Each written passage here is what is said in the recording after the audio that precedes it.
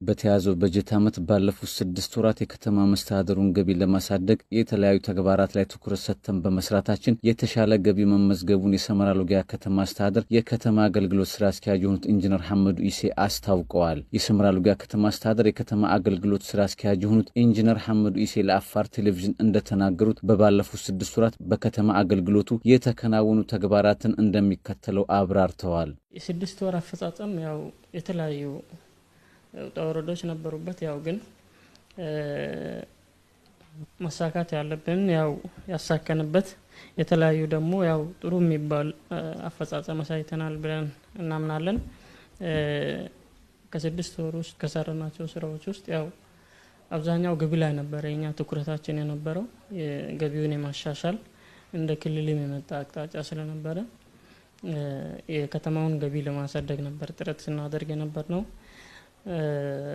ገቢ የገቢ አፈጻጸሙን ደግሞ በስድስት ወር ውስጥ ወደ 64 በመቶ አሳክተናል። ከመሰብሰብ ከነበረብን 64 percent ወይም ደግሞ 22 ሚሊዮን አካባቢ በከተማ አገልግሎት ገቢ ሰብስበናል ማለት ነው። ቢሮውን centralize የማድረግ ስራ ስድስት ወር ውስጥ ከሰራናቸው ስራዎች ውስጥ 2012 ጀምሮ ቢሮ ወደ ሁለቱ ክፍለ ከተሞች መሀንዲሶችን በመላክ እየሰራ ነበረ። ይሄ ደግሞ head office ላይ ትንሽ ክፍተት ስለፈጠረ እሱን centralize አድርገን የተሻለ አገልግሎት ለመስጠት ጥረት አድርገናል።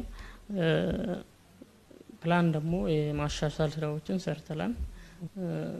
አፈጻጸሙ ጥሩ የሚባል አፈጻጸም አድርገናል። ኢንጂነር ሐመዱ አክለውም በቀሩት ስድስት ወራት የአገልግሎት አሰጣጥ ጥራትና ሌሎች ተግባራትን የከተማ አስተዳደሩ ዋነኛ ተግባር ነው ብለዋል።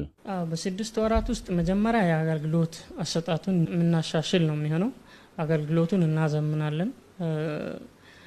ማለት አሁን ተገልጋዮች መጉላላት የለባቸውም። ለአንድ አገልግሎት ለማግኘት ሲመጡ እዚህ ጋር የመጡበትን አገልግሎት በሕጉ መሰረት ተስተናግደው መሄድ ነው ያለባቸው።